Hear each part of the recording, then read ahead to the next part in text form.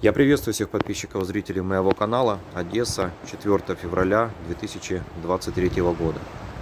Давайте немножко восстановим хронологию событий сегодняшнего утра. Вот я немножко пропустил в связи с отключениями света, потому что в 6 утра еще свет был. Вот, а в районе 7 часов он пропал. Значит, и вот до сих пор, сейчас время час дня, до сих пор света нет.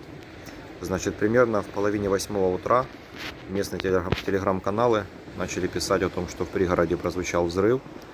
И сразу же после взрыва в небо начали подниматься густые клубы черного дыма. На фотографиях вы прекрасно видите кадры происходящего. Чуть позже появилась информация о том, что это не прилет, возможная диверсия или опять авария с трансформатором. Появилось сразу же много фотографий и видео, как горит подстанция на Усатого. Значит, спустя некоторое время Одеська районна государственна адміністрація дала свій коментарій. Шановні мешканці Одеського району, сьогодні вранці на одному з ключових об'єктів енергетичної інфраструктури Одеського району сталася аварія, внаслідок чого частина громад Одеського району та міста Одеси залишились без світла.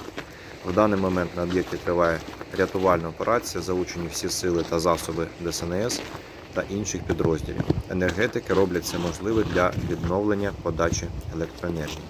Также появился комментарий от ДТЭК Одесской электросети, в котором они сообщают, что утром 4 февраля произошла вторая за последние сутки масштабная авария на подстанции НЭК Укрэнерго.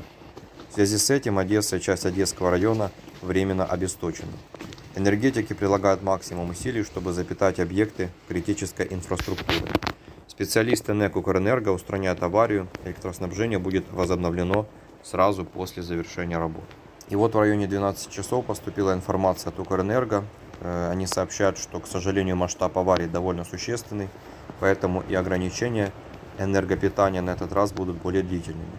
Пока невозможно определить конкретное время, когда энергопитание будет полностью восстановлено, Вместе с Одесской ОВА и Облэнерго специалисты Укрэнерго разрабатывают резервные схемы э, запитывания Одессы и ближайших регионов.